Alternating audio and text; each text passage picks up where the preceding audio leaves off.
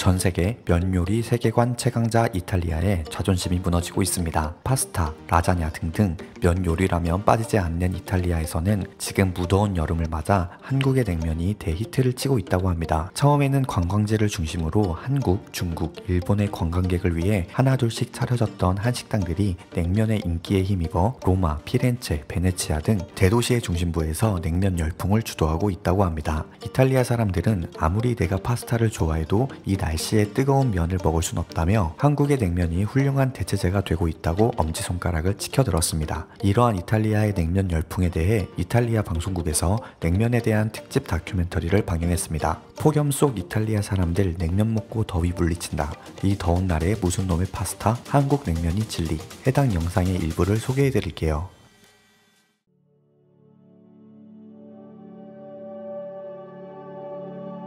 무더운 여름, 이탈리아는 이제 면 요리 세계 최강자라는 타이틀이 무너지고야 말았습니다. 바로 한국의 냉면 때문인데요.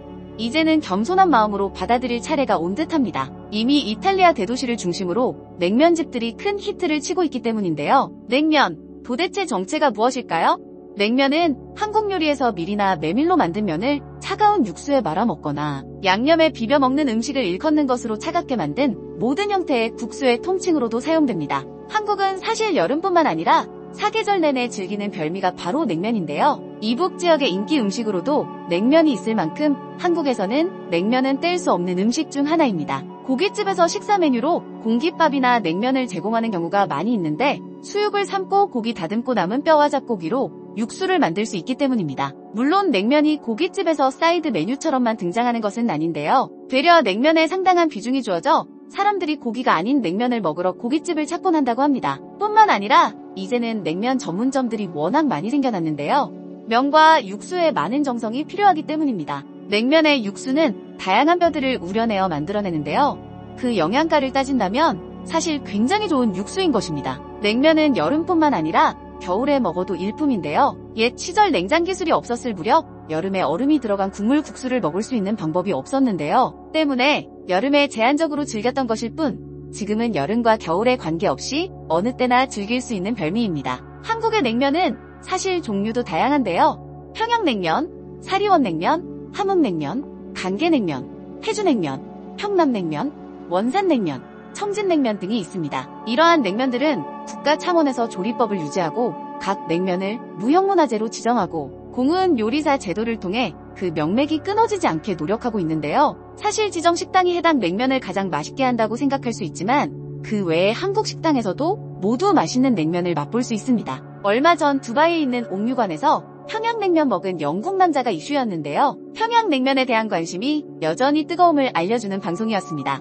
조시와 올리는 옥류관 메뉴판을 들며 진짜 북한 식당에 왔다고 인증하며 영상이 시작되는데요. 실제로 북한에 온 것은 아니고 두바이 촬영을 왔다가 옥류관 체인점이 있어서 들렀다고 전합니다. 사실 냉면을 그닥 좋아하지 않지만 궁금한 마음에 어떤 점이 다를까 하며 평양냉면 한 젓가락을 떠보았는데요. 찬 국물 요리가 없고 찬 육수의 면이 담긴 건 아예 없다 보니 굉장히 낯선 느낌이 강하다고 합니다. 그런데 낯선 느낌은 0.03초 정도였고 이어서 닭고기랑 소고기 오이 등등 다양하게 제공된 고명들을 잘 얹어서 한 입에 후루룩 먹어버립니다. 이처럼 이미 전 세계적으로 인기를 끌고 있는 음식 냉면. 냉면을 더욱 즐겁게 즐길 수 있는 것 중 하나가 바로 곁들여 먹는 음식들이지 않을까 싶은데요.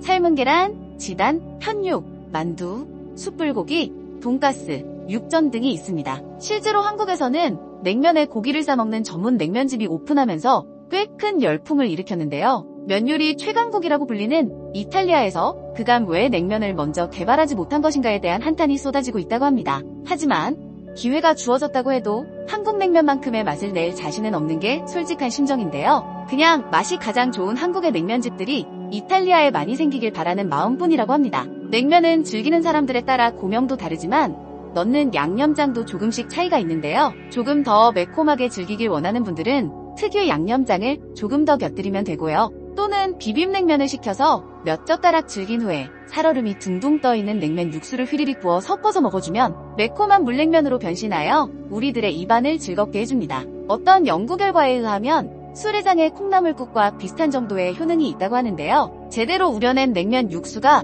아미노산이 다량 함유되어 있으며 아르기닌이 포함되어 있다고 합니다. 그렇게 가장 인기 있는 배달 요리 중 하나가 냉면이었다는 것이죠. 이러한 냉면은 물냉면과 비빔냉면으로 크게 나뉘는데 사실 이 중 무엇을 먹을 것인가의 논쟁은 짜장면과 짬뽕 사이의 그것과 거의 흡사한 vs 놀이입니다. 한 가지 팁이 있다면 함흥냉면을 전문으로 하는 곳이라면 비빔냉면을 평양냉면을 전문으로 하는 곳이라면 물냉면을 먹는 것이 좋습니다. 이처럼 너무 사랑받는 냉면은 한국의 라면으로도 등장하고 있는데요. 이제는 이탈리아는 면 최강국이라는 타이틀을 한국에게 양보할 시기가 온 것 같습니다.